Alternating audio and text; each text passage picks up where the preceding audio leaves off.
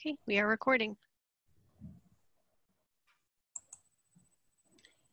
Great. So first order of business here is to review the minutes from our last meeting. And to identify a new minute minute taker. So Dwayne, you took these minutes, correct? Correct. Okay. So, um, Darcy, I think that puts you next Uh, on the list. okay. Sorry.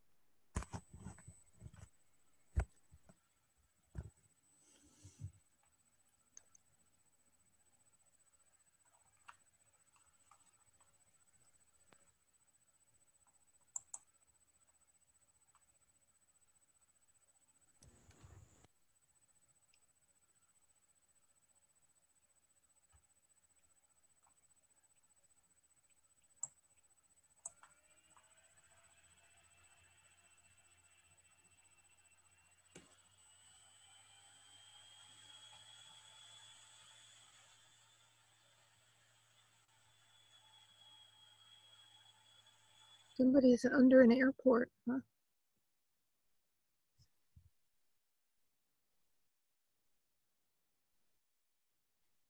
Where did the agenda go?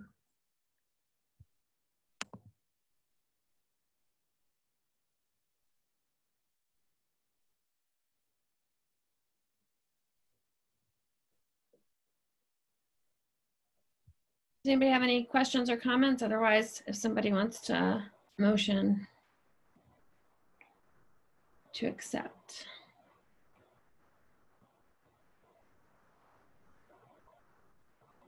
I move to accept the minutes.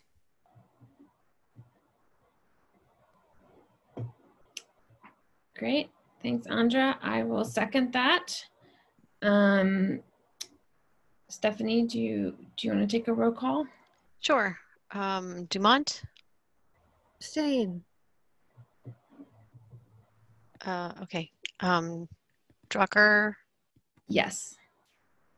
Selman, Can I say yes, even though I wasn't there?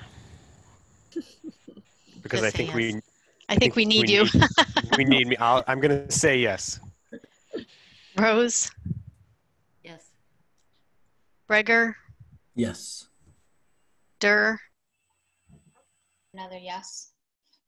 I didn't read them, so I would feel better abstaining. Um, so that only gives us uh, four, two. Um, Do we need five? we need five. Oh, I'll just say yes. Can we vote twice? I think so. Yeah. I hear we can vote twice, yeah. Do that again. You can definitely change your vote. Yeah, let's just do that again. Dumont, Yes. Drucker, Yes. Selman, Yes. Breger, Yes. Rose, Yes. Durr. Abstain. Okay. Great. So that's five zero one. They're approved. Great. Stephanie, do we know where the agenda is? Or where I would find it? It's I sent it in your packet, but I can put it up on screen now if you just give me a second. I don't see it in the packet. It was in the packet. It came, she's, Stephanie sent an update with, um, so it came in the first email she sent. Oh, packet, okay. All right. Let's see. I'll see if I Which find came on the fourth. Okay. At eleven fifty-six.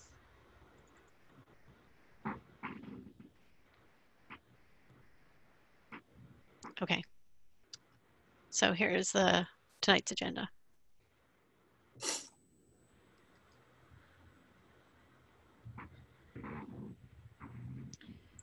Do we have anybody in the public, Stephanie?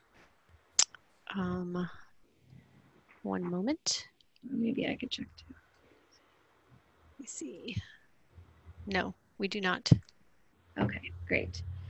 Um, okay, so then we can move on to staff updates. Uh, okay, so the first big thing is that um, we did receive our Green Communities funding uh, for roughly 126,000. That's for mostly for lighting retrofits at the Munson Library, Town Hall, and the police station. And then we also, which kind of am most excited about, is we got funding to um, install an anti-idling device for when the uh, police get their new ambulance. They haven't purchased it yet, but when they do get that purchase, which will probably happen next year, may not happen this fiscal year, but it may happen next fiscal year, then um, that device uh, can be purchased to be installed on the new ambulance, which is kind of exciting. So uh, there's that. And then there's been more discussion around the um, federal BRIC grant, and we're potentially now looking at solar siting. So that's um, that's something that we might be looking into uh, for that for that grant funding. Um, I will keep you posted and updated on that. And also, again, they are there are some um, information sessions that are happening in the next week or so, uh, and I will be attending those. And um, again, we'll definitely be paying close attention and asking about um, our s- intermunicipal CCA effort to see if we can get funding for that. So. Stephanie, sorry to interrupt. We're looking at your um, directory. Oh, not my, hmm. Okay, you should be looking at, right, I'm just gonna stop share. I thought the agenda was up there. Sorry, on my screen, my agenda was showing, so I'm not sure why it didn't show for you. Um, so anyway, yes, so those are the few uh, grant funding opportunities right now that um, the BRIC grant is kind of a big deal, especially for resiliency and adaptation. That's really um, something that's fairly significant. So we're going to be looking into that. So I, I again, I'll keep you updated. Well, what's the grant for solar siting? Stephanie? So that's the one, that's the BRIC grant. That's the federal BRIC grant. And that one um, focuses mainly primarily on resiliency um, of communities. And so um, you can apply for more than, than one. Um, they really encourage intermunicipal um, collaborations. So that's why CCA came to mind as something that we might potentially look to, but the solar siting is something that could be um, potentially attractive for funding as well. So we might um, try to get like an in-depth solar siting analysis for the for the town. So these are just a couple of things that are being discussed. Um, and once I I haven't attended the session yet, they haven't held the sessions, the information sessions yet. So uh, once I attend those, I'll have more information uh, to be able to share. Steffi, if I- might just um, uh, add to that, we, we, the, our- our clean energy extension, we have a um, ongoing grant with NREL uh, that's looking at solar siting in rural communities um, and looking at uh, particularly, um, we have three pilot towns that we're working with. Um, a- And, part of the grant is really to be able to replicate what we're doing. You- You're part of this through the, Yes. through- yeah, exactly, you're aware of it. Yeah. But they don't, but they aren't, but I don't know if everybody else is aware. So Yeah, okay, so, and I know, um, uh, Lauren, you emailed me about this Yeah, today. today.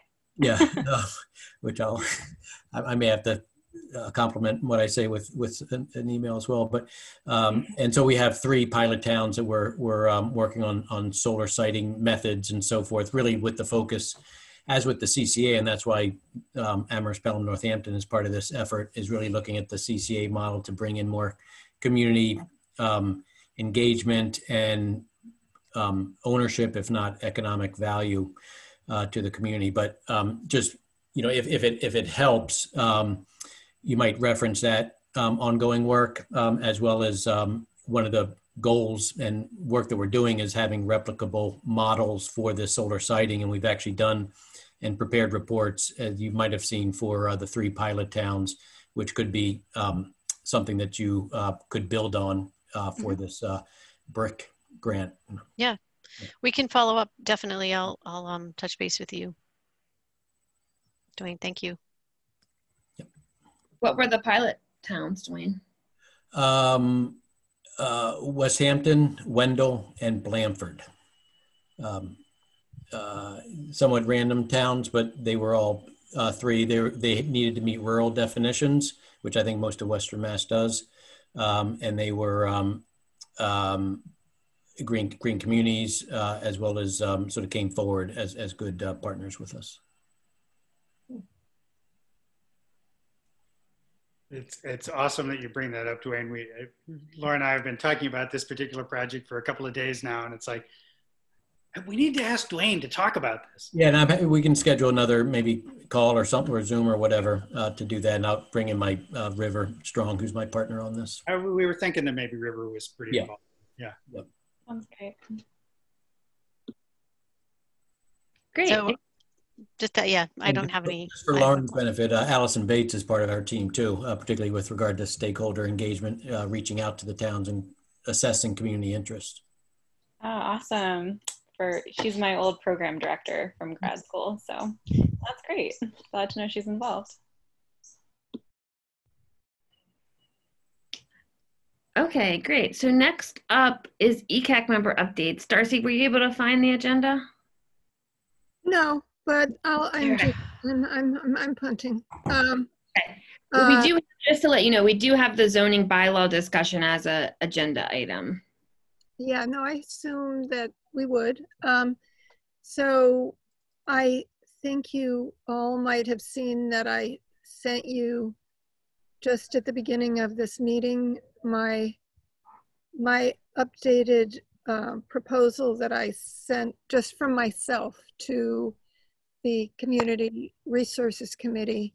Community Resources Committee are, gave counselors until yesterday to submit our own personal zoning priorities, um, which, you know, appears to be just the beginning of a process for looking at zoning. They're going to have a big meeting on the 15th uh, that they're inviting the rest of the council to, to look at um, everybody's lists. I assume everybody's lists are going to be in the packet and, and um, why it did not originate with outreach to the community, I'm not completely sure.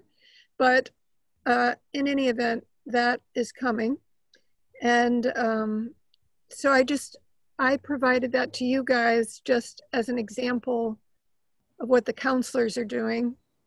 Uh, mine may be the only ones that have anything in there, has anything in there related to climate. I don't know, because I haven't seen them. I have seen a, a couple of um, lists that don't do much because of the fact that we don't have our plan out there yet.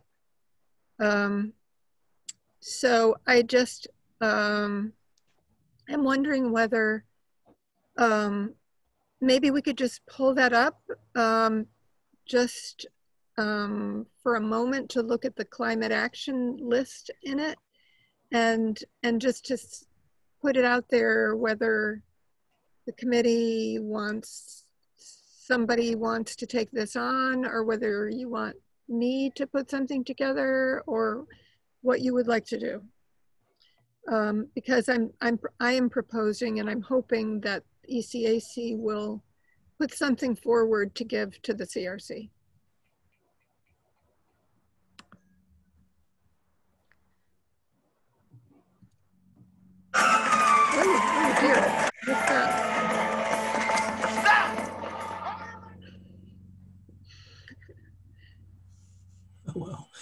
Is, I'm not seeing what's up there. Is there something? No. Um, Stephanie, do you want me to try to show it? Oops, wait a minute. First, Darcy, are you trying to show it?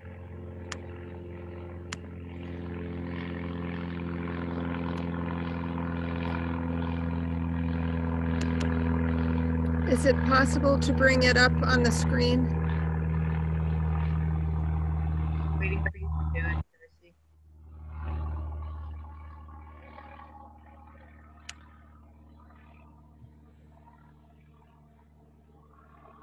Sure. Hold on.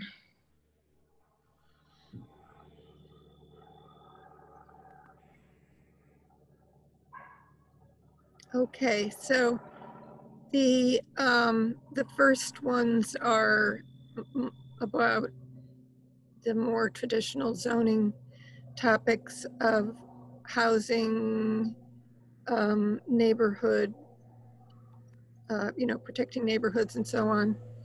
And then climate is, um,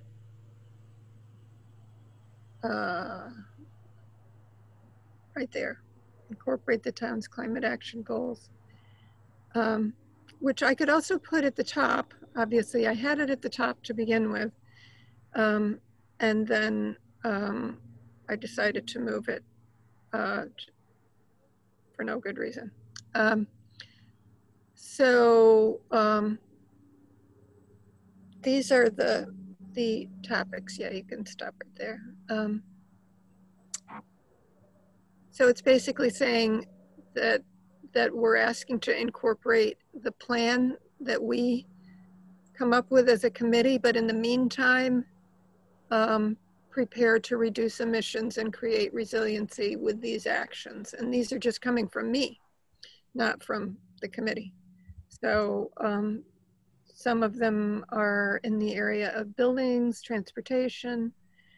Um, I came up with some ideas that were totally um, new that just uh, B, for example, require developers and landlords to create 10-year transition plans, including incremental steps they'll be taking in the direction of zero net energy solar and EV readiness, such as those used in Cambridge and Somerville. That is new. And also C is new to me require developers and landlords to participate in the regional community choice aggregation joint powers entity as a condition of building or operating. Um, so that uh, is uh, the other things are, and the, the other new thing I put in here is I create food transportation service desert overlay districts targeting increased public transportation connectivity, which I basically got directly from our meetings um, with our outreach group.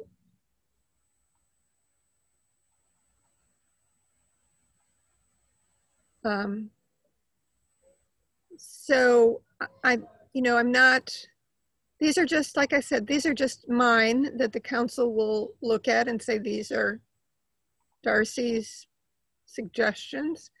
Um, uh, our list doesn't have to track these, but um, but it would be nice if we had a list and that we could send them specifically what what our zoning related climate requests would be. Um, so Comments? Thoughts?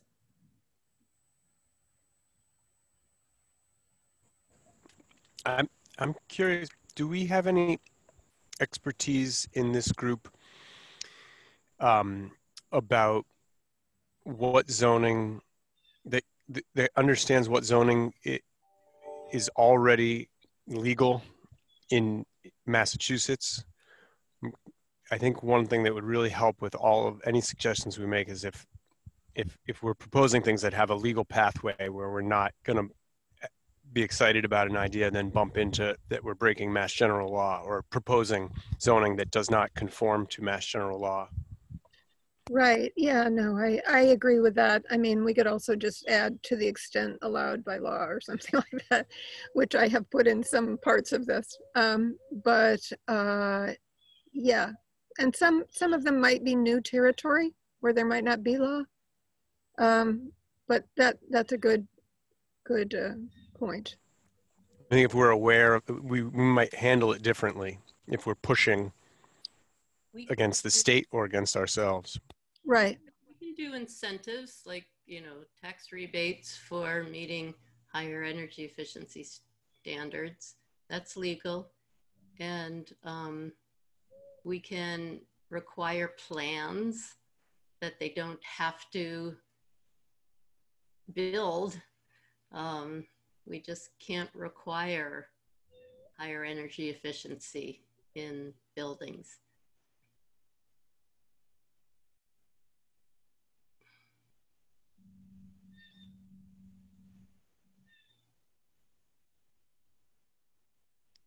Darcy, I had a question about timeline because you were saying that the CRC was asking for this input by a certain date, but my understanding, I had a meeting with Chris Brestrup the other day, actually yesterday, and uh, who's the planning director, and I was asking her about what's happening with zoning, with the zoning bylaws, um, and I mean, it sounds to me that that process is much longer. It, it, I'm not sure where these deadlines are coming from from the CRC, if they're just using them as guidance for working with with town staff on amending the zoning bylaws. It just seems like it's a much longer process than we're we're sort of uh, what I'm hearing from in these meetings is that it's something that's happening really quickly, but when I talk to Chris, it sounds like something that's going to take time. It is going to take time, and that's more of what um, the chair, Mandy Jo Hanneke, has been saying in the last couple of weeks, is that this meeting on the 15th is just the beginning of a, what's going to be a fairly long pro process. Because I think they're probably going to be hearing from a lot of people that we have to do outreach to the whole town. Obviously, we have to get input from everybody. Um, and so I, I don't think it's urgent that we get it uh, done like in the next week, but I think that we should figure out what we're going to do and plan on doing something. I wrote to my counselors and asked, um, and also corresponded with Mandy Jo and Andy Steinberg about it. And um, my uh, overarching ask was to slow down enough that our climate plan could feature into the zoning bylaws um, re overhaul. So I don't know if you know they're thinking that long, but you know by May we're supposedly going to have some recommendations and ideas, right? So my understanding from my conversation with Chris Brestrup was that I I definitely think our process will finish and we'll have a plan completed far before the zoning bylaws get completely overhauled and updated. Um, I, I, you know, uh, that's just so involved. It's just going to take a long time. And my understanding was, you know, that there are pieces that staff are doing that even the staff review is going to take probably a year for some of the work that they're doing, like what the work that Rob Mara is doing to look at where the zoning bylaws conflict. There's conflicting information. Eh, you know, that's going to take him, you know, probably at least a year to go through absolutely everything. I, I think that's correct. I think that this the, that this council is probably going to be motivated to get this done well in advance of the end of their first term. So that that's a deadline right there. And, and when that is that next year or 2022 yeah. next year? Yeah, um, but I think that um, I think it's still important for us to get um, ideas in, you know, when when we feel um, does do, does the group feel like we're at a point where we could even do that now in our process or or not? I i was going to suggest that maybe we um following sort of what andra has has done personally with her with the counselors that she's been speaking to we submit like an ECAC memo saying that we are working on this plan and that it will have implications for zoning and we'd like the opportunity to present maybe we can present a draft plan at the end of the fiscal at the end of the calendar year and be involved in the conversation on how we can integrate our climate action plan into the zoning bylaws. Um, I think because what I what I think this is a great list, Darcy, and I like some of these more innovative ideas. I think it's more. I don't know what the zoning bylaws laws would look like, but my sense is that it would probably be more powerful. Is instead of having an own section on climate actions, these are integrated into all of the bylaws for which they're um, related to. And I, I, I think there's also going to be some need for us to think through some contradictions that may pop up. So just from like breezing through this quickly, you know, keeping buildings low in downtown could also make it challenging when we're talking about trying to densify the center of town and incorporate public transportation and more effectively. So um, that's something that I think we need to spend a little more time with through our action planning process. Yeah, uh, some of these things are just political, you know, just a question of whether we want to densify the UMass campus or downtown. Um, and uh, that is, that's more political than, than, than climate related. Yeah, but you could see how that limit limita- limitations there could impact our ability to achieve some of the other goals that we have that are climate related. Um, and so we should be thinking about that in the context of climate, not necessarily there's one zone about law about this and there's one bylaw about this, and um, to the extent that we could pull it together. So I, yeah, I think that's a good idea to to put something together indicating that the committee is very aware of what's going on and we want to be included, uh, you know, that we're still in progress and that we hope to be able to um, provide something by the end of the calendar year. That makes sense to me. What do other folks think about that? Yeah. I, I like that. I also, I, I wrote up, I had a, a couple of things. Some are similar to what Darcy has. Um, so, you know, I don't know if we want to, I think it is useful to give examples because it just like, you say climate, you know, resilience and energy issues and, and people don't know what you're talking about. But you say you know green roofs and solar ready and uh, things like that. They know exactly what you mean. Yeah. Um, so andra would you like to maybe draft the memo with some examples in it? All right. Sorry to Oh, that's good. Yeah. Um, can I send it to people and and get feedback? You can send it to me, Andra, and I'll send it out, and people would send feedback Okay, back to me, and I'll consolidate it and get it to you. great. That'd be good. I'd appreciate that. Does does it make sense for us to spend any time in our task groups, kind of do maybe doing an exercise or a conversation about you know what zoning is and how how it relates to the our specific topics and get some kind of real time input there. I don't even know if we have time in in what in our last meeting or not, but just an idea. I think that's a good idea, land use in particular, but, um, but the other, the other groups also. We don't have land use here. They're not, they're not at the meeting. But I, I agree, Jesse. I think um, even to the extent that we're recognizing that this is an up and coming community outreach opportunity for which not everyone may be aware, myself included, all of the implications that zoning has on climate. Um, I think that's a good point to raise to gain to either to g- gather feedback on or even just to point out that this is going to be happening soon and that um, this is another opportunity to to engage on the topic.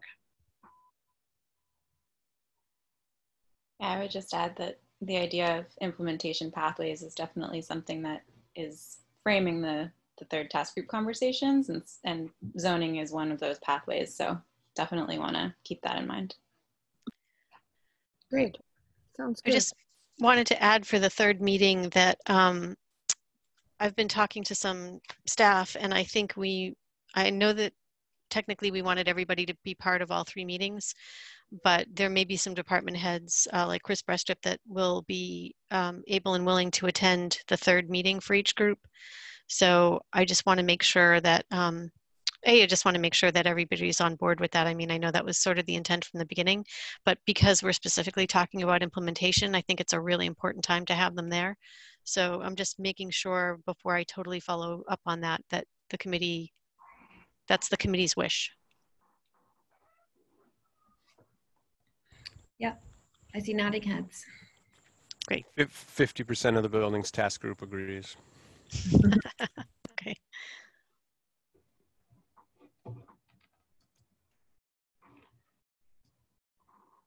Okay, great. Um,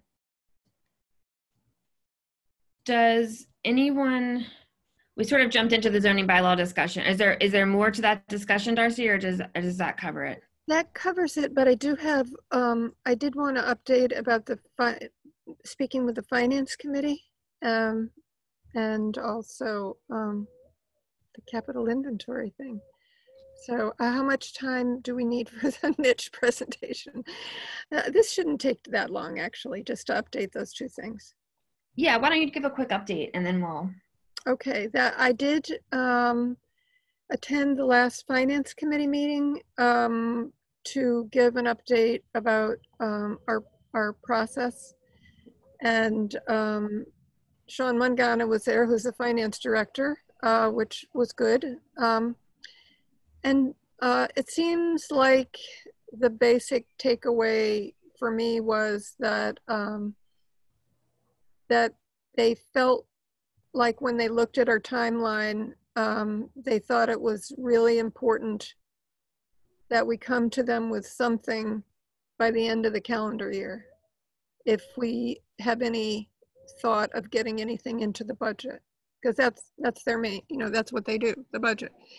Um, so, and they made that statement very strongly. Sean Mangano did, and Andy Steinberg, the chair, uh, pretty much saying that it's too late to be putting anything in front of them um, in the spring.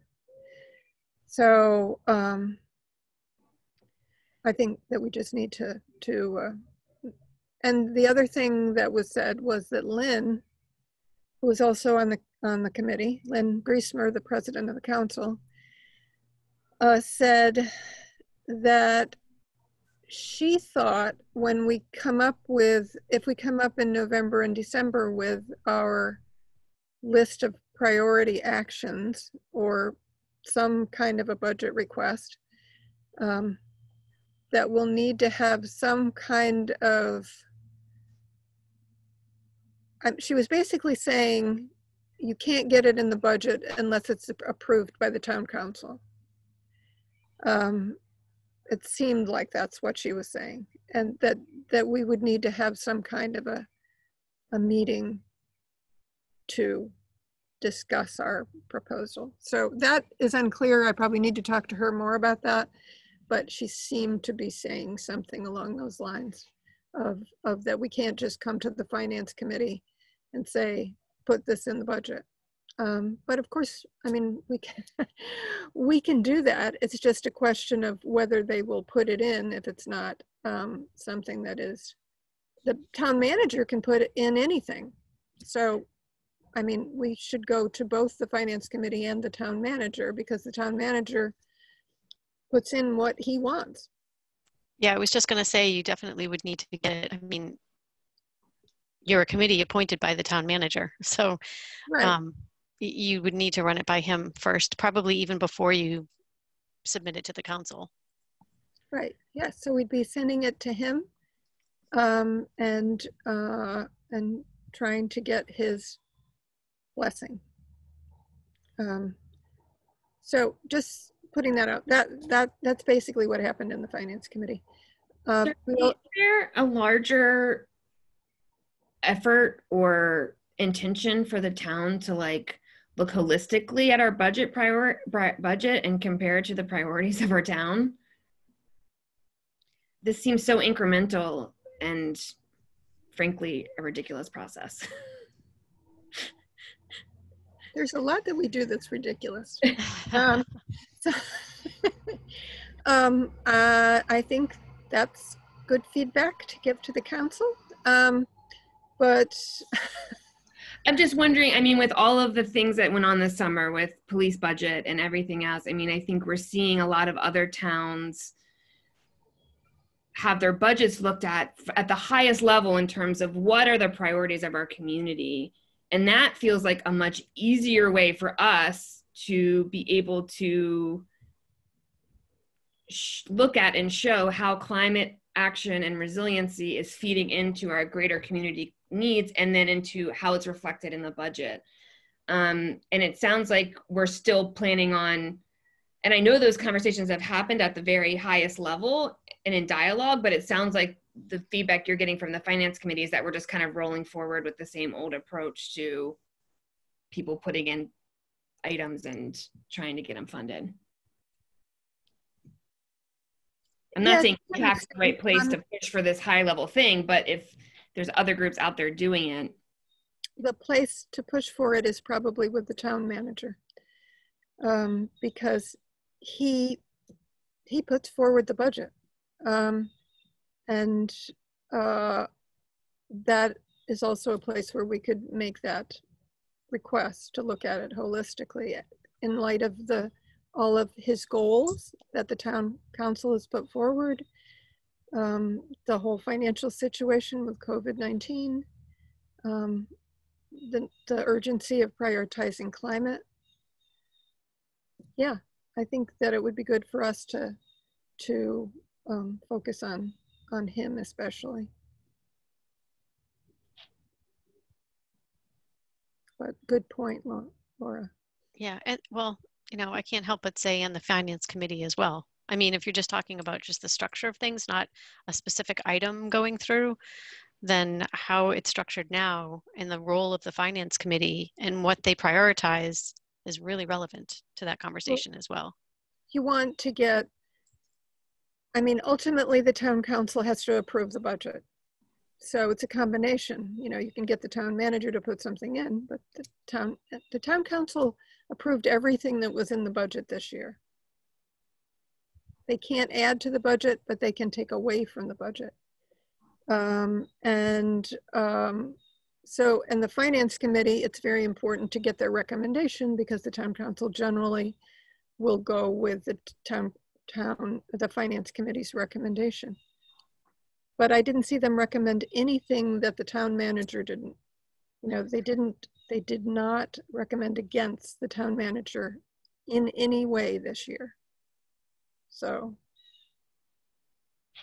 if you get the town manager on our side, that's a good thing.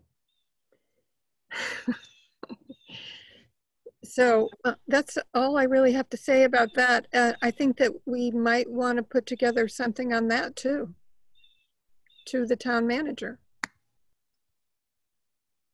Prior to submitting what we want to have in our budget.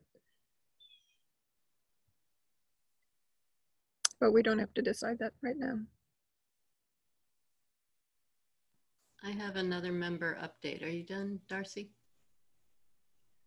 Well, I just want, if anyone is interested in the, the capital inventory thing is going forward. It's just going to get, at the next town, town council meeting, it's probably just going to get, ref well, it did get referred to the, to the finance committee. So if we want the finance committee to look at anything in particular, then we need to tell them. Um, if we want to add anything to just their basic inventory of, of vehicles um, and buildings, et cetera, then we need to tell them. So, and they were, they were leaning toward not doing anything additional at the meeting. You know, just saying, we know how to do inventories. You know, it's very basic and we'll just do what we always do, have done.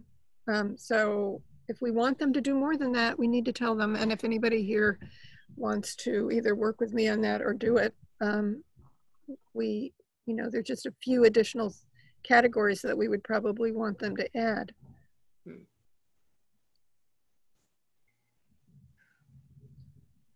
It feels like another conversation. It is. It is. Um, uh, you know, I have didn't. I got additional information from Stephanie, but we didn't really have a conversation about it.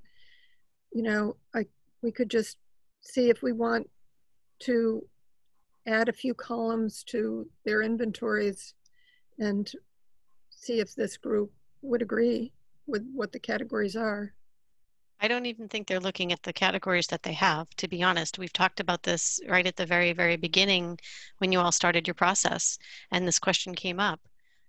There's supposed to be a cost, you know, a benefit analysis, and that's not done. So, um, you know, they already have categories that they're not adhering to. So I'm not sure adding, even adding more, I think they should, but I, you know, again, I think this is another process, another conversation to have regarding this process at another meeting because there's a lot more to it, I think.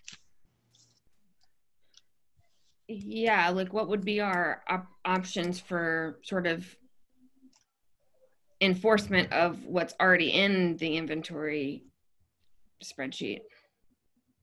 Right. So Stephanie already, you have in your packet the, the, the vehicles inventory that Stephanie has had to do for the green communities.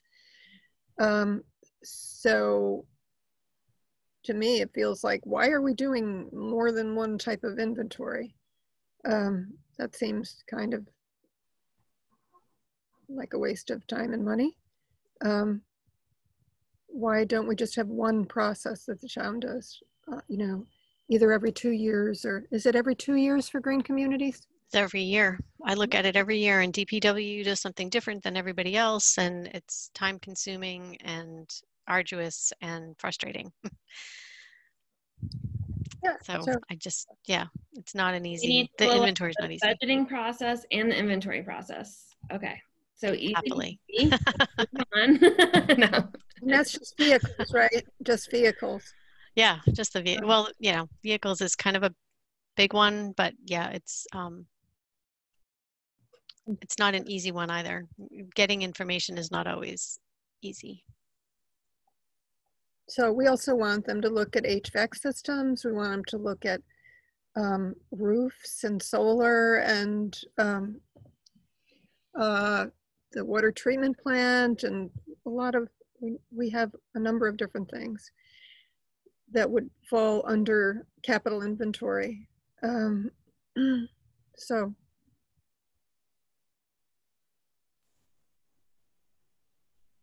do you want me to make a proposal about that?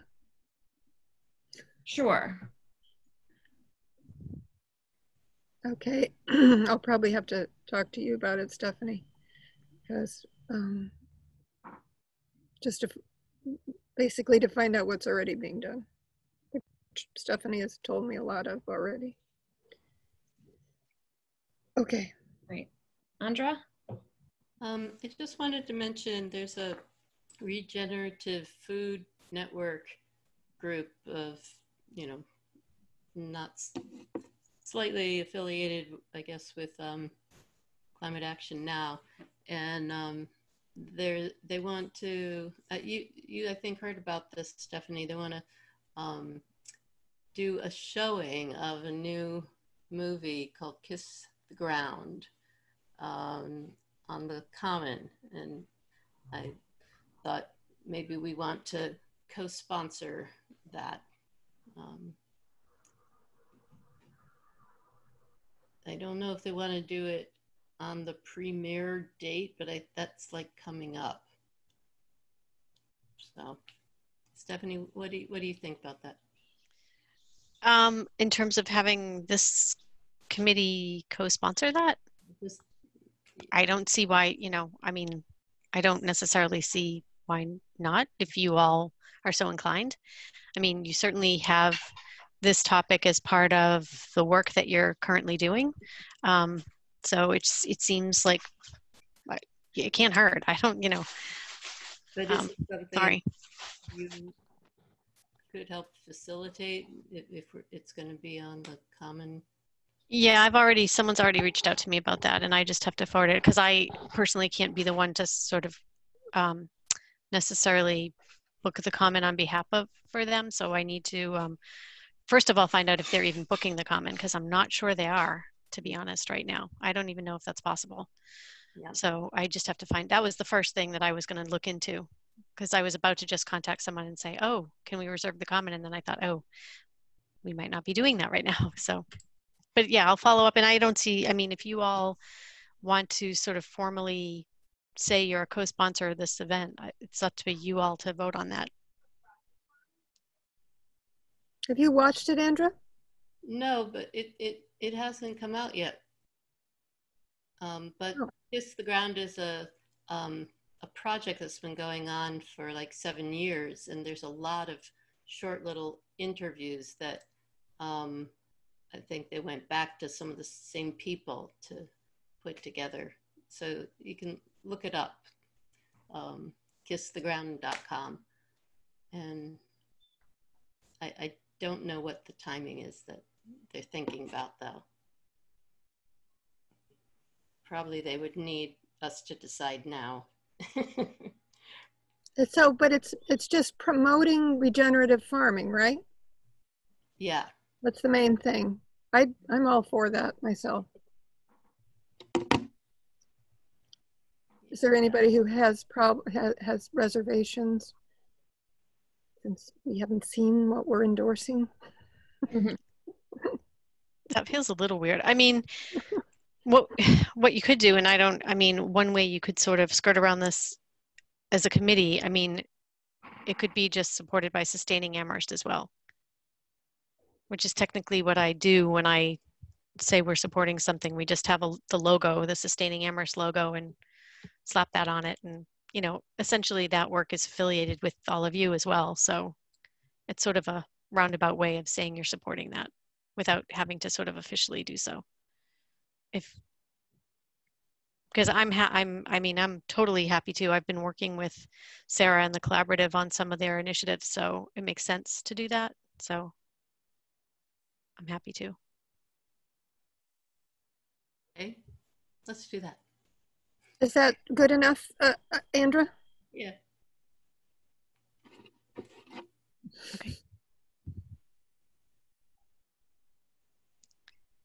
Okay, yeah, so I'll follow up and help them out as best I can. Okay, thanks. Great. Um, anything else?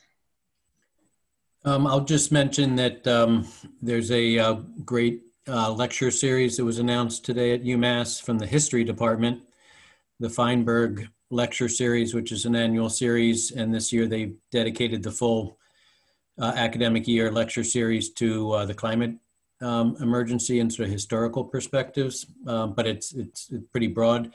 A really great um, uh, set of speakers, um, some of whom I, I recognize, some I don't. Um, but I, I was going to chat out the link, but I don't know if we have chat capability in this format. Um, so uh, just, you know, Google um, UMass History Department Feinberg Lecture. Dwayne, Uh, you can also send me the link and I can send it to everybody. Okay, great. Um, I, I will do that. Yeah, yeah. It's really, and it's open to the public um, and uh, they're eager to, to uh, make it available to everybody. So yeah, obviously by Zoom. Dwayne, I just signed up for the keynote today. is Oh, awesome. Robin Wall Kimmerer, who is amazing. If y'all haven't heard of her, um, she wrote "Braiding Sweetgrass" and "Gathering Moss," man. which are both, yeah, amazing. great. Wow. How do you spell Feinberg? Uh, F E I N B E R G.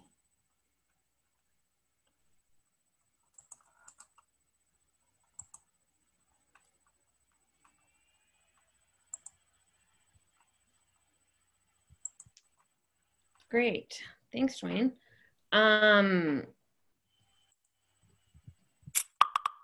I was just going to add quickly that I did listen to a pretty neat webinar last week from uh, NECEC. Did Jim or Lauren listen to that?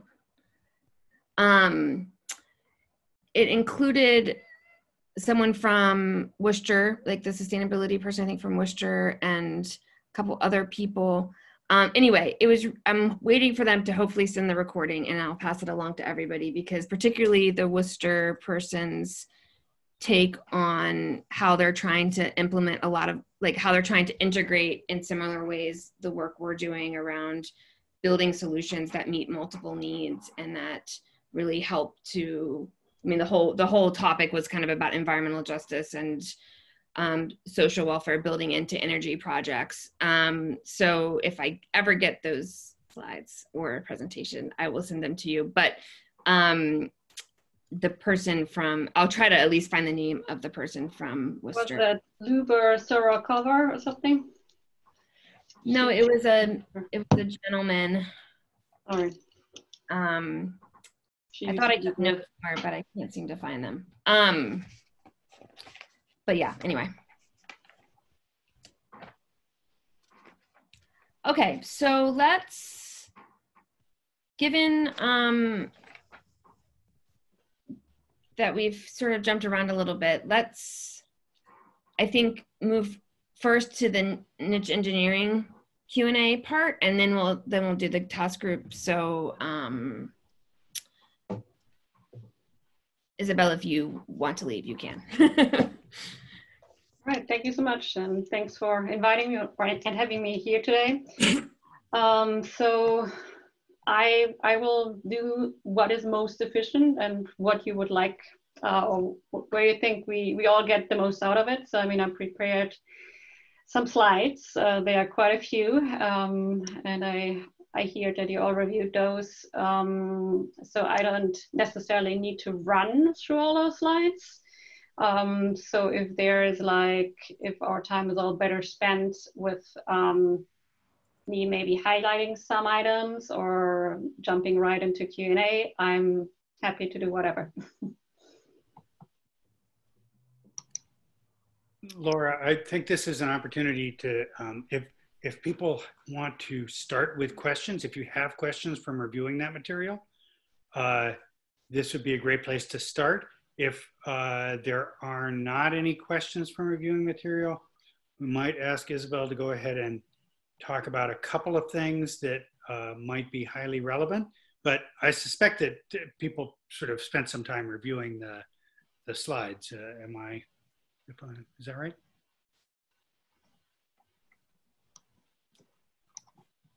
Yeah, why don't we um, jump in with folks either if they have questions or if there's parts of the presentation that they wanted clarification on. Um, and then if we haven't discussed something that Isabel or Jim you or Lauren you feel like we should touch on, um, we'll do that. Does that sound good? Okay. Works for me. And I can pull up the, uh, the presentation slides if that's helpful. Sure.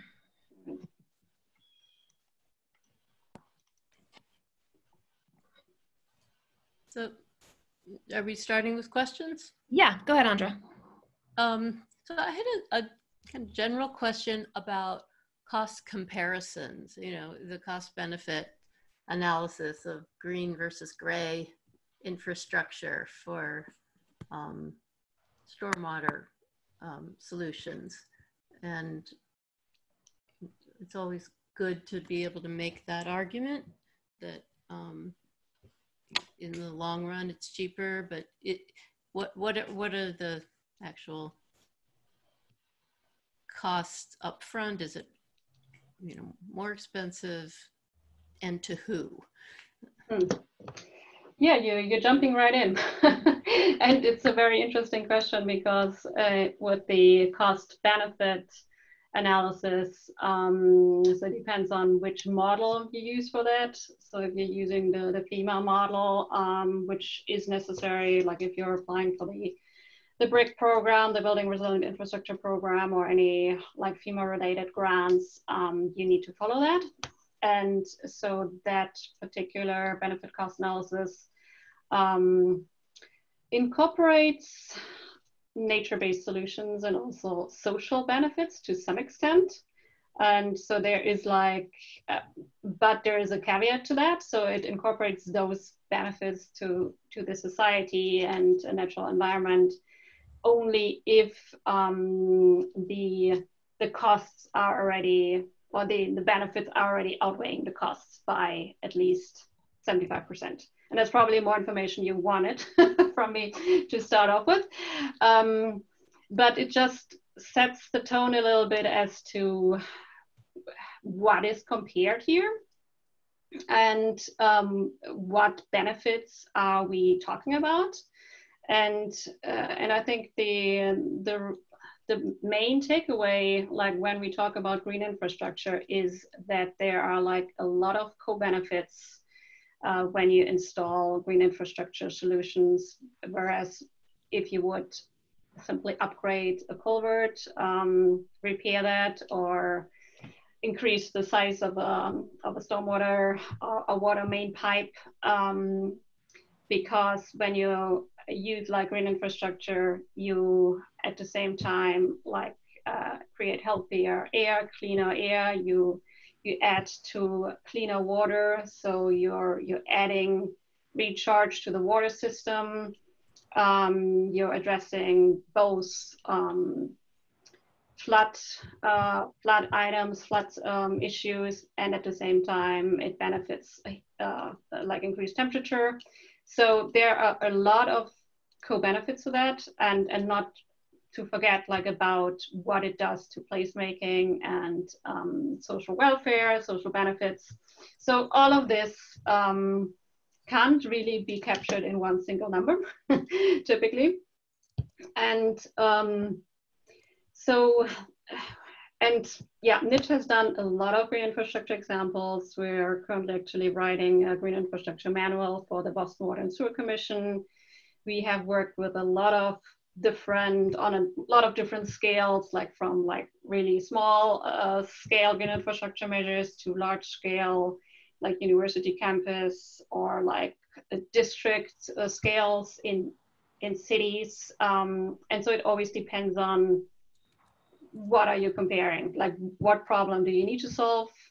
And uh, how do you go about it? And um, what means do you have in order to, to go about it? And so our typical um, way to go about it is looking at very detailed as to what are we actually trying to solve? Like what is the issue at hand? Is it is it flooding? What is the where are we looking to solve that problem um, would we also need to potentially look and typically the, it's not just flooding at one location but it's like um, it comes from somewhere. So it's like a more of a watershed based approach. It's more like a, um, an approach that takes, that also looks at where does the water actually come from and where does it pass through.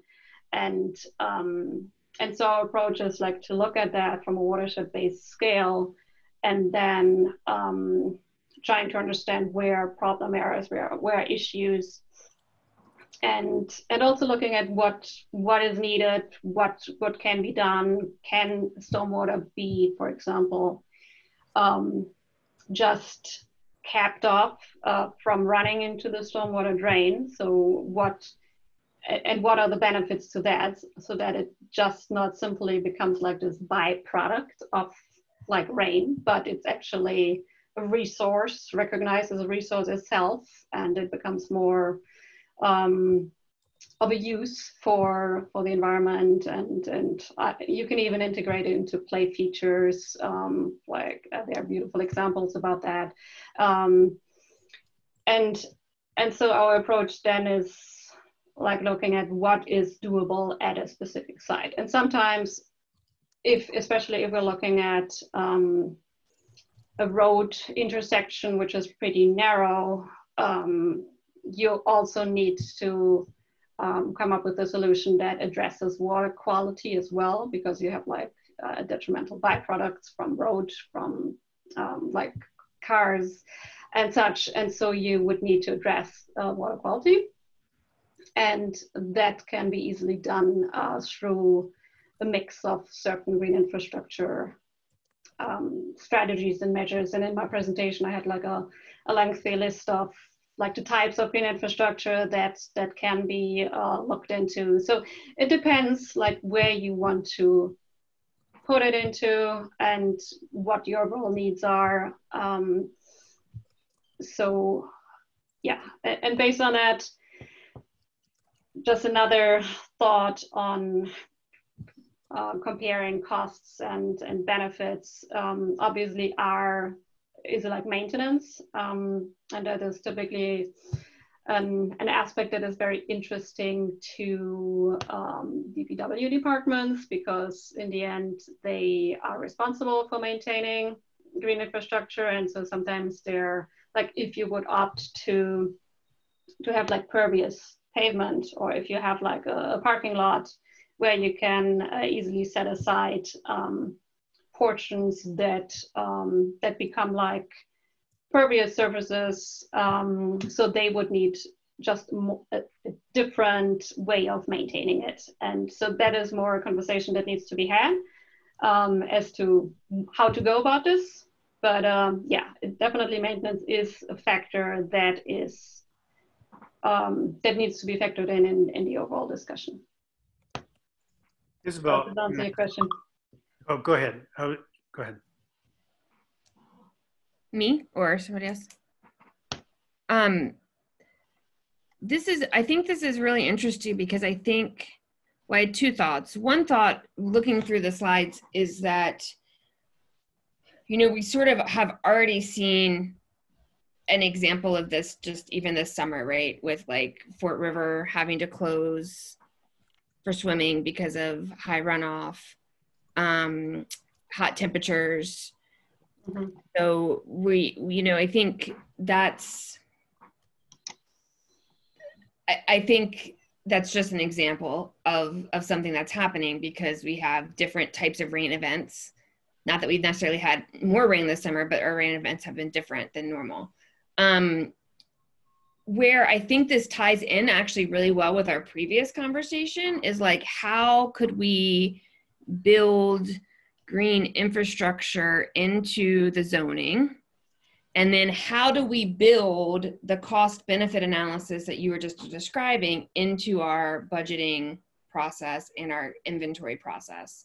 Because I think what we want to avoid doing is to to your point, you know, repairing outdated technology that is just a band-aid solution without thinking more holistically about how a green infrastructure project or some other way of addressing an issue could be beneficial on multiple levels. Um, and I think the biggest challenge we have is maybe not the specific projects for per se, but like how do we build this into our systems that seem so antiquated against this type of of work. Um, the only other thing I'd add, I think, to Andra's point is, you know, I think it'd be helpful for us to think through, you know, based on, you know, there's all these strategies, some of which are more applicable to our area or just specific parts of our area than others. Like I think about green roofs, for example, like most of the green roofs locally maybe UMass or somewhere else excluded where there's a lot of concrete areas in a small in a small area is just for decoration and not really that that's not where we would necessarily want to spend our money um given that we're not in an urban urban environment. You could correct me if i'm wrong but um so like really helping to identify what things we should if, if we're going to try to inc- if one of our outcomes of our climate action plan is that we need to include green infrastructure into our zoning bylaws for example um, how would we do that and what would be the most beneficial things for us to be looking at as as Amherst. Mhm. Jesse, yeah. Yeah, I, I, think to follow on both Andre and, and Laura, one of the things that's that I, I don't think I understand, but I, I think our group maybe needs to understand is if there's gray and then there's green and then and maybe the next one is natural solutions. And I think there's nature inspired, but then there are our town has some interesting opportunities where there's we have both you know hardscape downtown and quite a bit of open space and some of our issues are just at low roads. And and one of the and i just think to help us understand or if, if part of what comes out of this is a, a, a good public understanding of what natural solutions look like um, in our town as far as maintaining and improving spaces and also the that level of cost the difference between green and natural that that cost in the sense of um, one of the things that makes me nervous is heavy green infrastructure.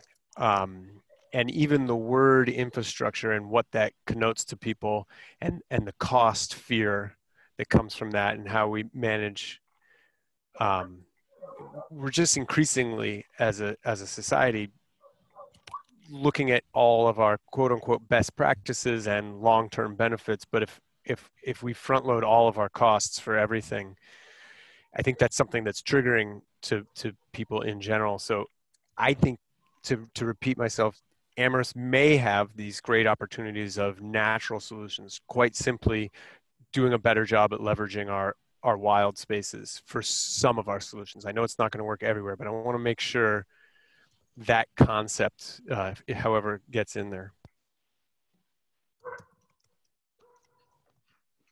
Yeah, that's that's uh, those are all uh, great comments, and um, just to to answer Laura's Laura's comments uh, or question or potential assignment uh, first. So I think it it makes great sense that um, at revisiting the zoning bylaws and we reviewed them uh, quickly, um, like as to how we might um, incorporate um, a stronger demand for low impact development and, and green infrastructure strategies for, for one. And then there's also another um, opportunity that is already there, which is like through the um, MS4 permit that um, Amherst, as all the other uh, communities in Massachusetts, are obliged to um, uh, to to apply with the EPA requirements to um, reduce their combined sewer overflow and as such have to uh, incorporate more best management practices as to where to um, take on additional stormwater runoff. And um, so this could be also tied into existing zoning bylaws and into a new development guidelines and bylaws as to um, that the the first as like in hydrologic terms where we uh, speak about the, the first flush of rain which is like the first inch of rain. And uh, so there, the, the, typical approach is that this needs to be taken on by the development itself. So which could be done through green roofs, um, or it could be done through um, green infrastructure strategies um, like on the site, but the, the first inch of water needs to be infiltrated on, on the site itself to not add um, add more stress to um, to the to the stormwater and additionally to the combined sewer um, overflow.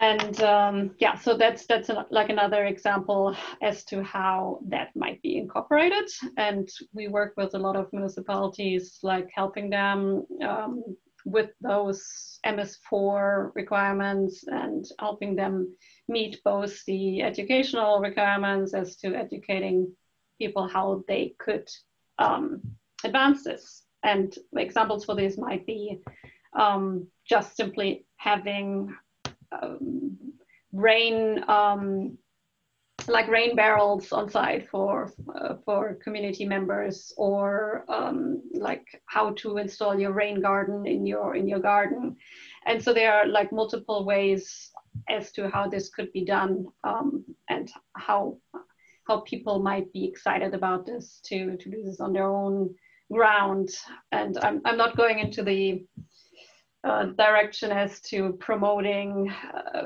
a potential like uh, standalone water um, redistribution. So some municipalities go down that route, um, but it's more like looking at what is already there, what's amenable, what do people, um, what would people feel most likely to to incorporate already in their existing means, and it might also be just educating about composting and that um, just flushing everything down the sinkerator um, actually adds more like electricity and water use and all of this. But if you have the space, you can just um, throw your compost um, in your own garden. It's a great education measure for the kids, um, and it it actually helps uh, like the environment overall quite tremendously. So yeah, those those are some initial ideas as to how this could be um, incorporated into the zoning bylaws, and then also like as far as education goes. Um, and so we have like a full package of materials that we'd be happy to to share and uh, like how to get people excited about stormwater overall and what it actually is and such. And so Jesse, your question was more on like what is nature versus gray versus nature inspired or hybrid um, green infrastructure measure, measures. And yes, I totally agree. So there are like seldom instances where it's like a clear cut, where it's like either just green or just gray. And, and typically we we come up with some hybrid approaches, especially if we are like in in a in a denser environment or where is like a lot of streetscape. And so one example I pulled up here, it's a tree box filter. And, and so it's kind of like incorporated into the existing um, street grid. And um, it's, it's one example how you can just make bioretention and also water quality work like in a, in a densely settled environment. And it goes even further as to those, those infiltration practices we have here where you have like pipe system like running under underneath um, like a densely uh, built environment where uh, where that kind of like takes care of first uh, the just taking care of the first flush of, of rain, uh, filtering it, and then um, the rest, uh, then it will either be distributed to and recharged into the ground, or the rest will be, as you see here in these, these pipes, it, it would go um, into the system. So this is this is a very sophisticated approach, and I'm not suggesting this uh, particularly for, for Amherst, but these are measures where you have like very limited space and you really need to um, come up with, with some solutions.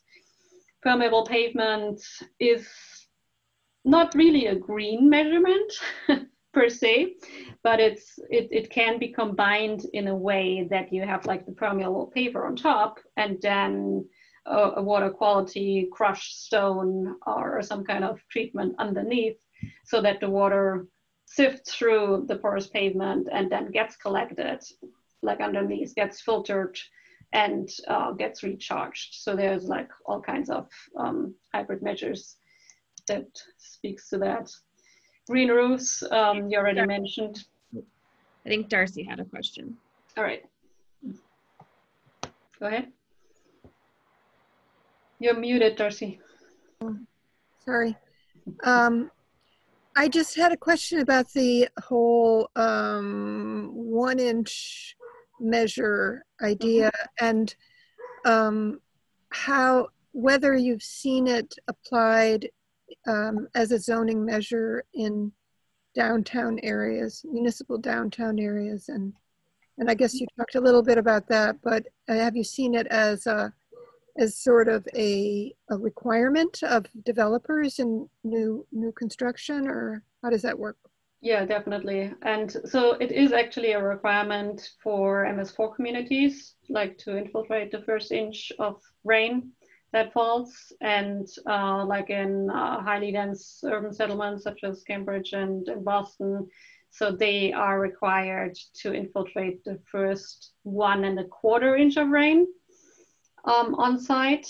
And um, so, which is where um, like it, it either either green roofs or, or blue roofs get installed or where water is just captured and, and taken off um, the, uh, the, the regular process where it would just be discharged. And, and so it's kind of like infiltrated on site through various measures. Do you know if the, um, if the Commonwealth of Massachusetts is required to do that? Are they exempted from that or um, are like would UMass need to do that? Yes. Yeah, it's a it's a, it's a requirement by the EPA. So um, all communities are required to do that. That's interesting. I have never heard of that. Yeah, and so Amherst is uh, an MS4 community. So um, uh, you are, or your community is um, is uh, required to come up with a stormwater management plan and um, so which includes best management practices which are typically like green infrastructure measures so i have not seen um, the DMS4 plan that uh, that Amherst has. We'd be happy to look at that and, and help out and um, maybe advise on some measures that, that might make most sense. Um, but yes, definitely you the community is required to do that. You're saying that the municipality and the state are required to do it on their buildings, but are are is there any requirement of doing it on private development? Um, okay, I would need to go back and check that. I'm,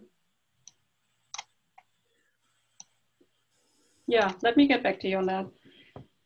I'd be interested to know if, um, well, if Cambridge, you said that some some cities have been re requiring that for their downtown development. I'm just, I'm interested to know if like cities our size. Mm-hmm. Um, I'm pretty sure, I'm pretty sure that it's, it applies equally.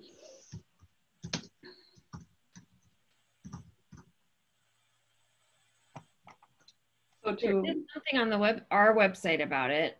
Um, it says Amherst is working to implement a five-year stormwater management program required by the Phase Two MS4 general permit. Phase Two local governments are required to develop and implement a stormwater management program that includes the six measure six measures public education and outreach, public involvement and participation, illicit discharge detection and elimination, construction site stormwater, runoff control, post-construction stormwater management for new development and redevelopment, mm-hmm. and pollution prevention, good housekeeping for municipal operations. So it sounds like we need to just confirm that that includes private development. Private development. Unless it's probably not, I don't know, it's, it really does need to be in the zoning code um, for it to, to be effectuated, I think. Uh, Stephanie, were you going to say something? I, I had something. I, um, I, am curious about your, your process. Um, I, I, assume that you, you read the um, preparatory materials that the staff, Amherst staff um, created for our first uh, MVP, you know, whatever it's called, the the first the planning stage. Um, we we have a, a real expert in DPW, the assistant director of DPW, right, Stephanie, who's a stormwater specialist and she talked a lot about at that stage um, the you know the the aging stormwater system and, and how much is is needed um, for for that and, and how hard it is to put money into it when people are complaining about potholes. Um, so I, I'm I'm assuming that you're going to talk with staff and and get recommendations and from them. I mean, I don't feel like we're the ones to kind of mm-hmm. decide what projects, um, but have input obviously. But I, I think this is a lot of staff input is needed. Yeah, so uh, for sure, we reviewed the uh, MVP report that was together, and um, we also referenced this in our presentation since it's like all the hazard areas that were called out are like highly linked to like water uh, threats, either being too much or too little. And uh, so, which is where wide green infrastructure makes so much sense. Um, and we had a first um, conversation with uh, uh, the, the, superintendent of the town, and uh, so discussed like our um, like the, the, scope of work and um, like as we're looking at water, stormwater, um, infrastructure, um, and also wastewater obviously as well but uh, also transportation. And so we had a like an hour conversation with him as to like what his assessment of the situation in Amherst would be and um, what his thoughts um, are on uh, potentially using like a, a watershed based approach um, that would look at the watershed or like as water is more like as a holistic resource. And um, he actually brought up a, a, fu- a funny term um, uh, which refers to the, the scorpion bowl, the drink, the scorpion bowl, where you have like the, the drink being your, your water resource. And then you have like all the participants like having straws and everybody is just enjoying their drink. And so he referred to this as being like the the Scorpion Bowl um, being the, the water resource in Amherst. And um, we, we touched on the, the fact that in 2016 there was a drought. Um, and as we know, this summer we also had drought conditions uh, in Massachusetts, despite that it rained quite a bit.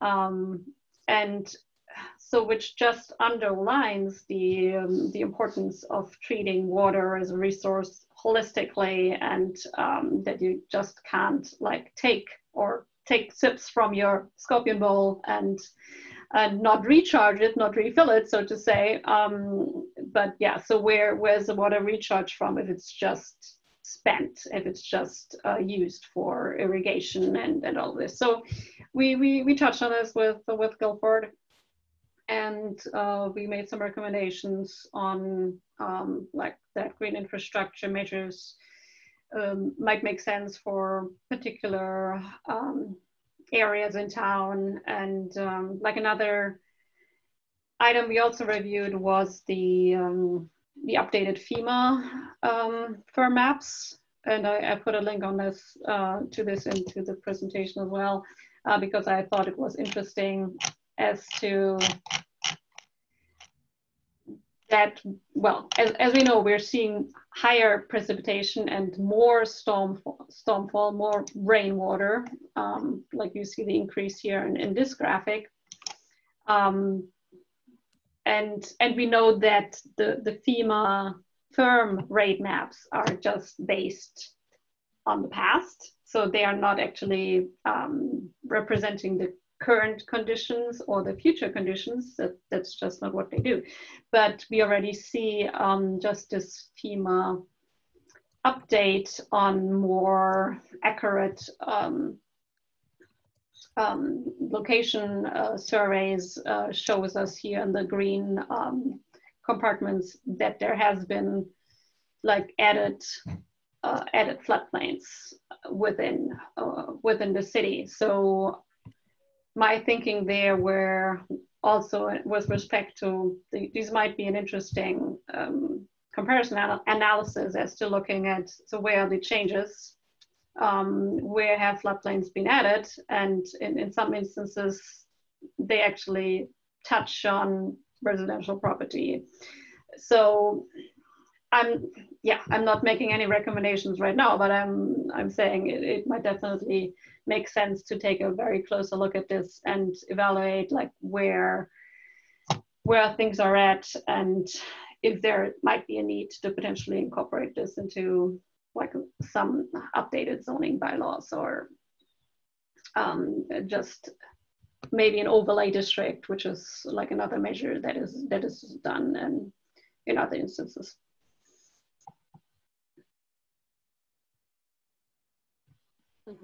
Great. We're gonna um, maybe spend one or two more minutes and then transfer over. Spend the last half hour on the task group prep for next time.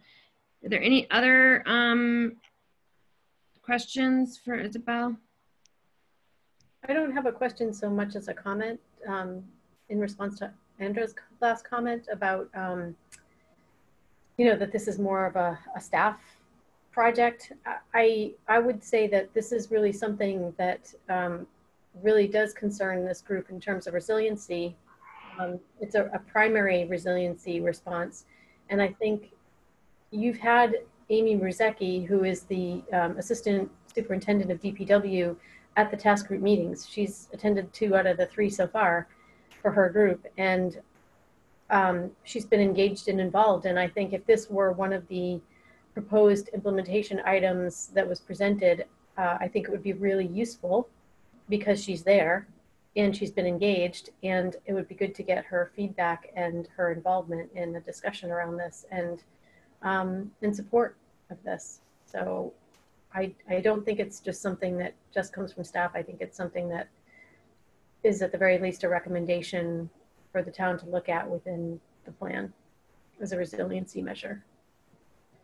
And, and maybe just one more um, item to add to this, and uh, that maybe just ties into the, the actually the first uh, uh question Andra had on um, cost benefits and um, like another benefit of green infrastructure is that it's not just like looking at uh, climate adaptation. So it's not just um, fixing um, and and taking taking up additional flood, but it's also climate mitigation um, measurement uh, with respect to that uh, low impact development and those more holistic water cycle approaches, like feeding back to the water cycle, um, they actually prevent um, like additional water pumping to wastewater to, to water needs because it's green infrastructure mimics this natural cycle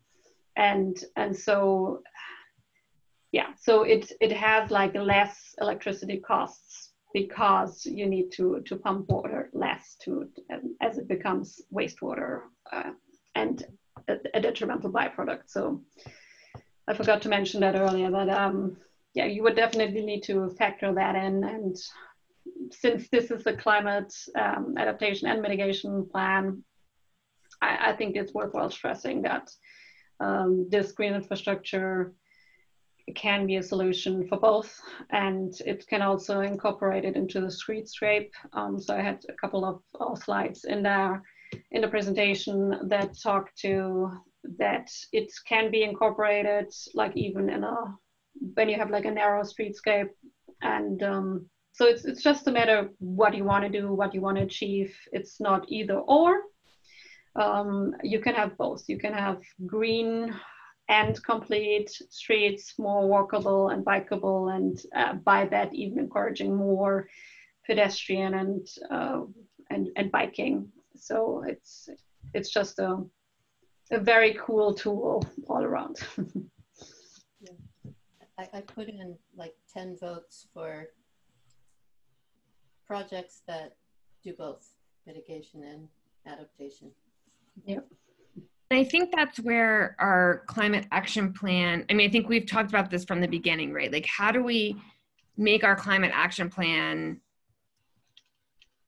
something that has teeth so that then we can say, okay, this is what we're doing. Like, now you need to before we invest in a infrastructure project we need to first look and see are there natural solutions or other things that we should be that's our 1st Mhm.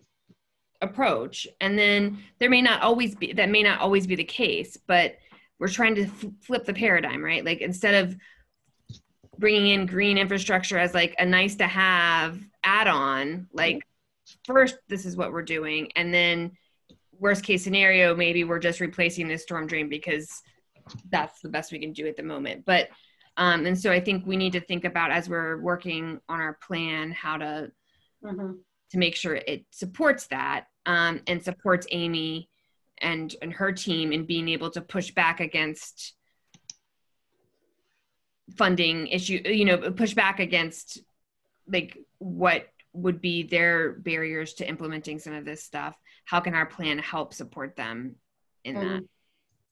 Yeah, right. And and one approach about this maybe just to um, to look at pilot projects, like what projects might be useful and where you already have like a program that you could tie this into. Another approach um, that we did in Northampton um, for the MVP Action Grant was to to look at 10 sites um, and those would be selected sites like either within the floodplain or downtown. So where you have like different um, different strategies and uh, then look at those closer and come up with strategies for like what would make most sense in, in those specific areas and um, and then depending on where we want to go but um, from my understanding the the purpose of this plan is also to kind of like identify action items that are ready to go with the next grand round so that could definitely be done uh, by, by looking at either pilot projects or specific site areas and um, like also working with, uh, with staff, obviously what, what they want and what they recommend, um, but to propose something to move forward. So those might be some logical ideas that could go. Great. Thank you. This has been really helpful. Um Welcome. so we'll of course work with jim and lauren on on next steps with all of that. Um and you're welcome to stay for the rest of the conversation or you're welcome to hop off. Um, Yeah, I think I, I think I'll I'll join my family for dinner shortly. sounds like a good plan. Um okay great Thank you so much i Thank really you. slides are really helpful thank you Uh, sorry. Thank you. Thank you. Don't forget Yeah, that. thank, thank you very much. Trying Thank to you stop my very screen- much. Screen screening and um, oh, here we go. Stop share. there we go. All right. Yeah, let, let me know if you have any other questions. We're happy to um, work with Jim and, and Lauren. So Fabulous. Thanks. we'll move forward. Uh, All right. Thank you all. Bye-bye. All right, so um, just quickly um, on the agenda, just want to,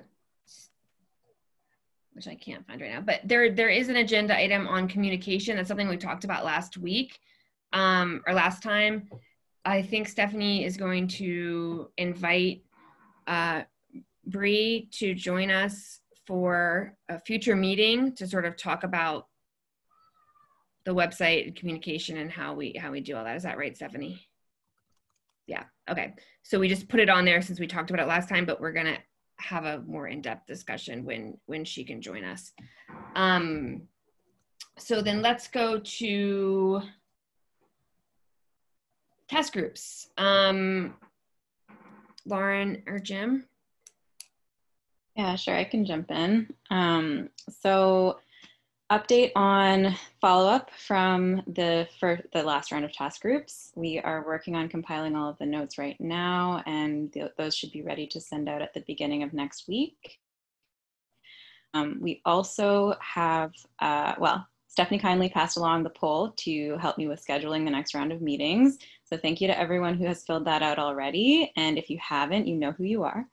Um, so please try to fill that out um, by tomorrow because I am out on Friday. I'm moving up to Portland, Maine, and I would love to be able to get them scheduled um, before I have to do that. So thank you very much.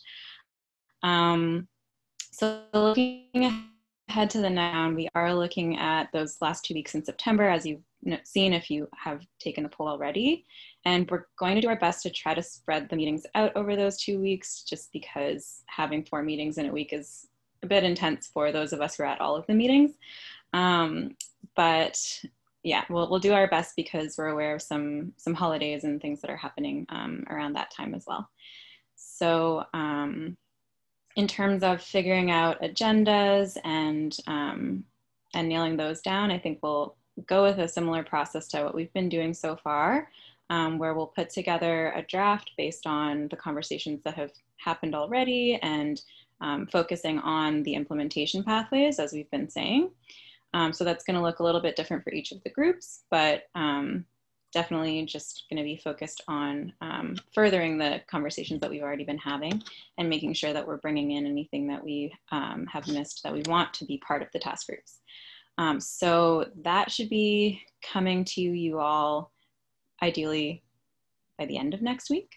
Um, and then we can do the back and forth and comments and feedback and getting the, the co-chairs um, involved in thinking through what the agenda will look like.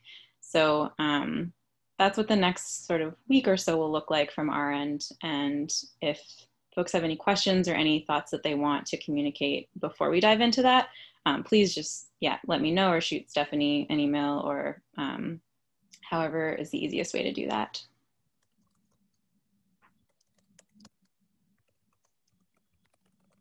Jim, did you want to add anything? Yeah.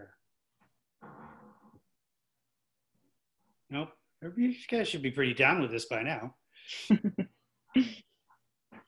yeah, we're becoming pros now. Round three, it's going to be, yeah. so is um remind me lauren sorry is there a do we have another ecac meeting before the next task group meeting or is it that same week it might be that same week um, it will depend on when the meetings actually get scheduled whether there's an ecac meeting before um, some of the task groups but the first week that we're looking at there's an ecac meeting that week so some meetings might happen before that meeting, others might happen after it. Okay. Yeah. Any concerns there, Laura? No, I was just wondering um, about it. sure. Yeah, of course. Um, are, are you, you will note in the survey that it avoids that Wednesday. Yes, I did notice that. So then when I started asking the question, I re- realized that. um, do folks have any comments or reflections from their past task group meetings, or maybe you think thoughts they want to make things they want to make sure we cover in our task group three meeting? Um,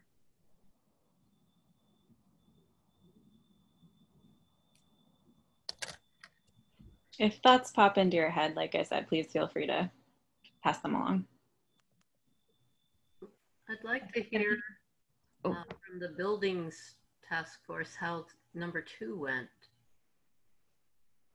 That's exactly what I just wanted to say. And if I could, if you don't, if you, Sarah, and you, Jesse, don't mind, I just want to say like what an incredibly wonderful job you did with your presentation. Personally, from our perspective, it was amazing. And I've been in touch with IT and they were able to um, section out that presentation. So it might need to be tweaked a little bit, um, possibly, but I don't know. I'm going to send it to Lauren. I don't know. We can sort of follow up. But in any case, we've isolated it as a presentation, a standalone presentation that everyone can use. And it was really fantastic. Yeah, and so we'll send that out as part of the follow-up when we send out the notes and um, the sort of save the date for the next meetings as well. That'd be great. if you don't, uh, if you didn't hear about it, uh, they did this lovely tag team thing where Sarah was talking and Jesse was drawing in these really cute drawings, sort of with all these things that illustrated what Sarah was talking about. It was really quite lovely. That's very cool. Jesse did the heavy lifting on that for my behalf. But you did an awesome job in presenting. It was fantastic. And and Jesse, your pictures were great. I loved them. I loved your drawings. I thought they were really fantastic. uh, thank you. I, I, I think, to, yeah, no, I, I give Sarah and I in minutes to prepare and we can do anything. Um, the group was smaller and um, so everyone had a little more time to talk. And I think in general, that felt good to the task, to the members of the task group. Mm. For what it's worth, I don't know how we can use that information, but that that was my takeaway. Is everyone just had a little more time Mhm. uh, to add to the conversation, and I think the conversation was getting increasingly concrete, which I think has worked well for people's brains.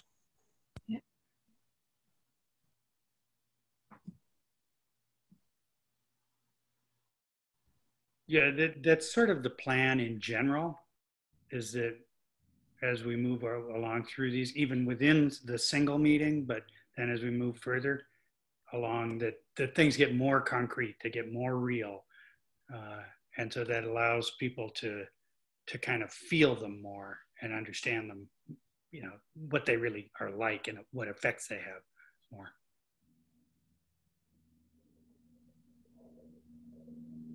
Well, you, you were worried um, after the first one whether people were going to come back.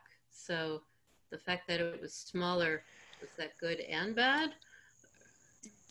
Yeah. So my understanding, and I don't know everything, and, and Gazika is not here to report on that. Maybe Lauren or Jim, you know, but my understanding was that there was con- scheduling conflicts, Yeah. and it wasn't necessarily that people had given up on the process. Um, Yeah, we had one community leader who um, was pulled into a work training literally that day. Um, so they were just unable to make it um, for work reasons. And another community leader who had a, a childcare emergency, I believe. So it wasn't anything to do with um, not wanting to be there, it was just ex- extenuating circumstances. And they, they were there for sort of as long as they could handle. Yeah.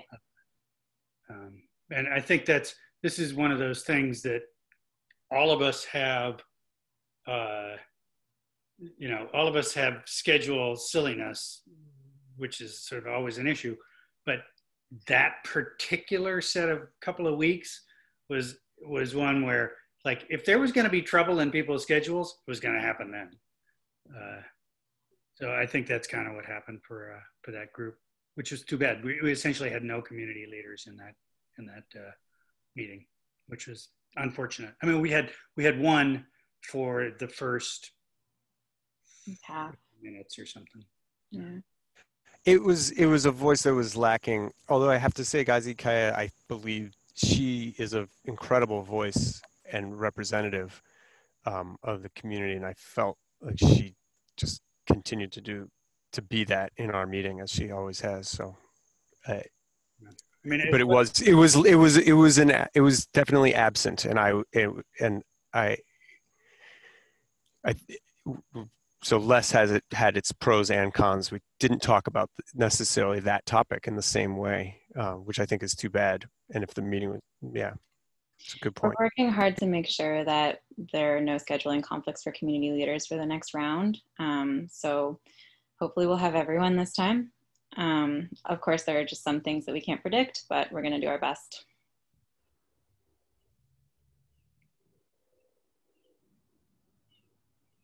Yeah, Darcy. Um, I know I brought this up at the last meeting, but um, I am interested in figuring out what vehicle we're going to use as E ECAC ourselves to put forward our priorities, uh, or our, our, you know, our, our own suggestions for what we want for actions for our different sector groups. So it seems like this is the time when the, like the co-hosts of each sector group should be putting together their own lists and getting them ready to put forward either to the group in the third meeting or just generally to all of us in some context.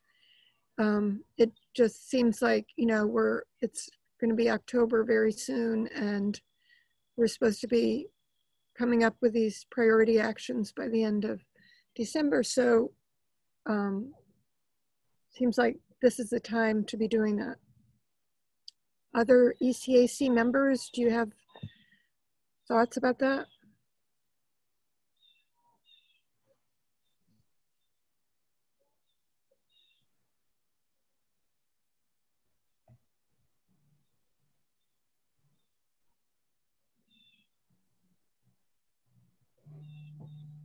And if not, what, what, I, I I guess I feel like, uh, you know, when are we, when are we putting in our um, desires about the plan?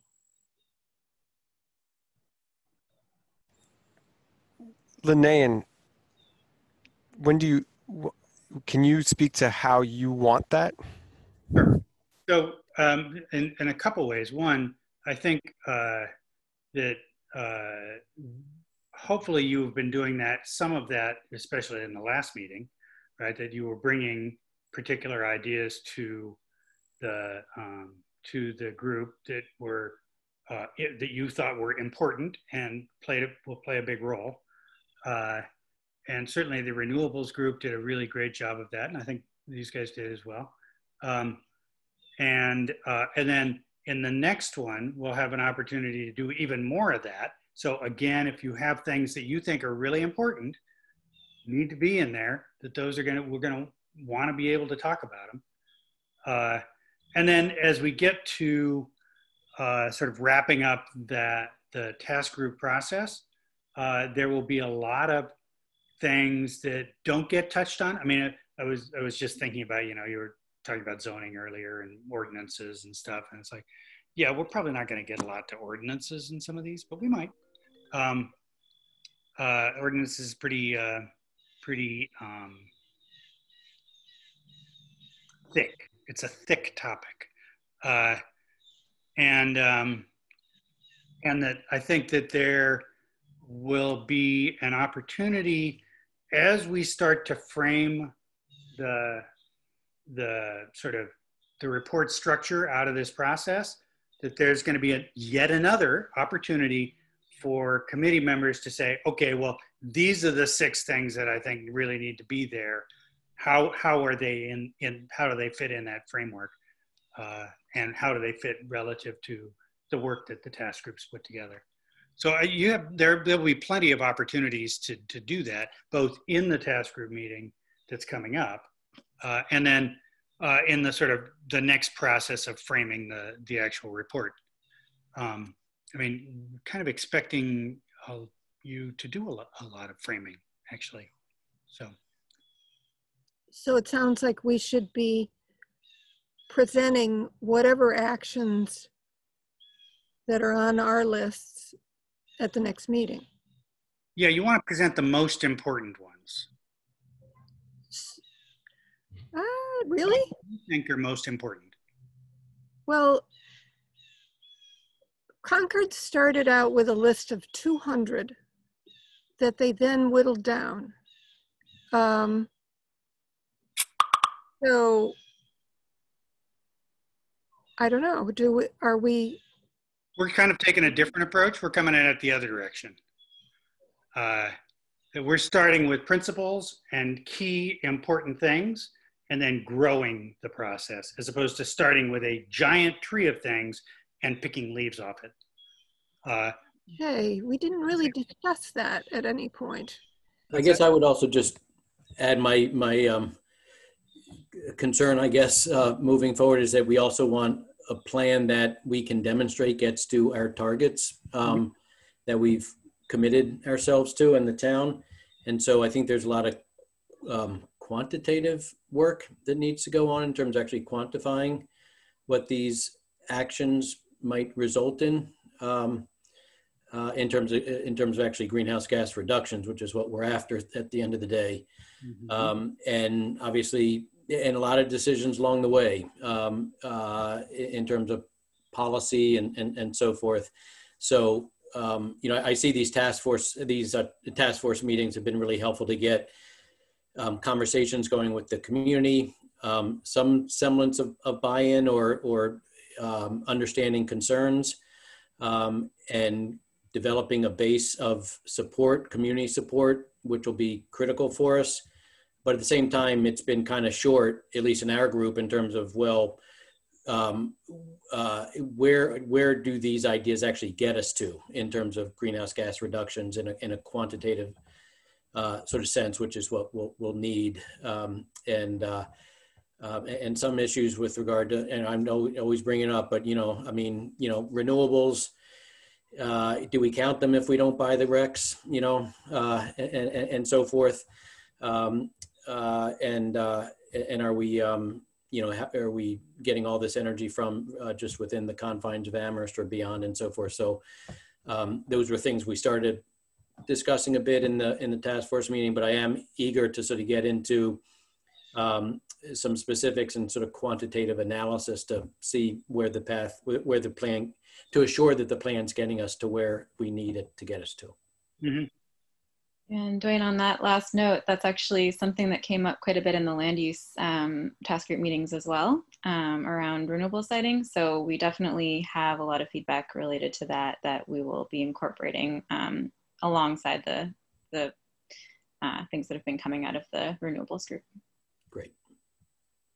Yeah, Um, that- Oh, sorry. Go. I mean, I think Dwayne, you're you're touching on exactly what we need the task group meetings to do and what they won't be able to do. Like we're not going to be able to use a task group meeting to quantify potential emission reductions, nor Darcy are we going to be able to use a task group meeting to say, okay, here's five things, let's vote on our top one.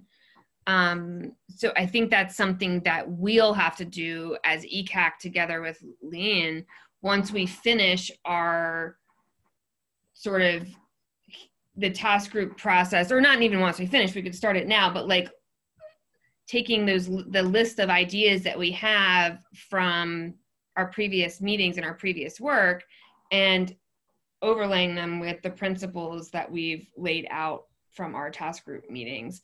I think my question is how do we bring it all together?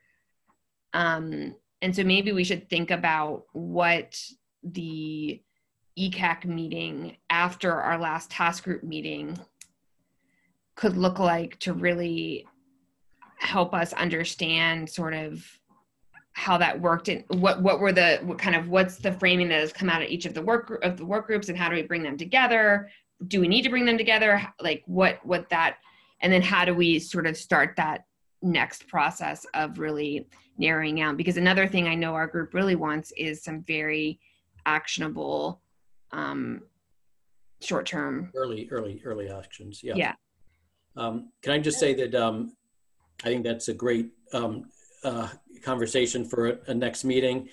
Um, and I need to be uh, leading a Zoom call at 6:30, so I got to jump off. And, uh, I, One thing I would say about I that gonna is say.